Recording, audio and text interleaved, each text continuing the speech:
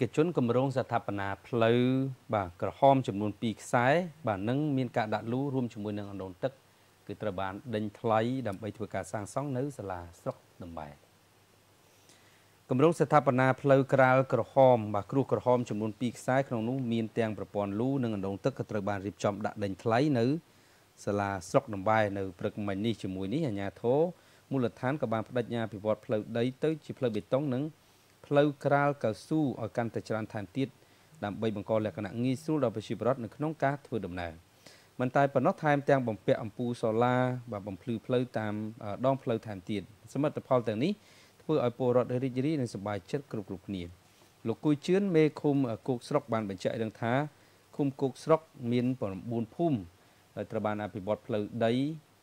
ដែលលំបាកធ្វើដំណើរទៅជាផ្លូវក្រាលគ្រោះក្រហមឲ្យបានគ្រប់ភូមិ រួមជាមួយនឹងផ្លូវបេតុងមួយខ្សែថែមទៀតលោកមេឃុំបន្តថានៅថ្ងៃអនាគតបាទមានផ្លូវក្រាលគ្រោះក្រហមដែលខូចខាតទៅវិញហើយក៏ត្រូវធ្វើការចាក់បេតុងតែម្ដងចំពោះផ្លូវនៅនៅមុខសាលាឃុំវិញគឺមានបំពាក់អំពូលសូឡាចន្លោះពី70ទៅ80គ្រឿងដែលធ្វើឲ្យប្រជាពលរដ្ឋងាយស្រួលក្នុងការធ្វើដំណើរនៅពេលយប់ជាមួយនេះអាជ្ញាធរនឹងបើកការប្រជុំជាមួយនឹងក្រុមប្រឹក្សាឃុំថាតើនឹងត្រូវ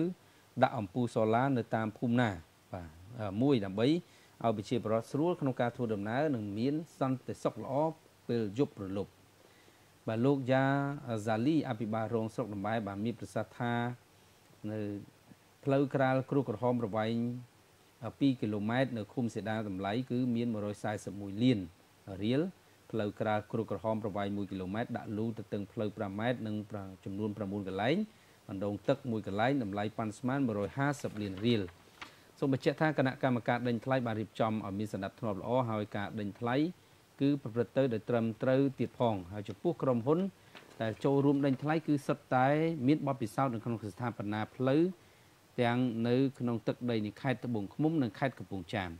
ចំពោះលទ្ធផលនៃការដេញថ្លៃមិនទាន់ដឹងនៅឡើយទេដែលរងចាំគណៈកម្មការដេញថ្លៃ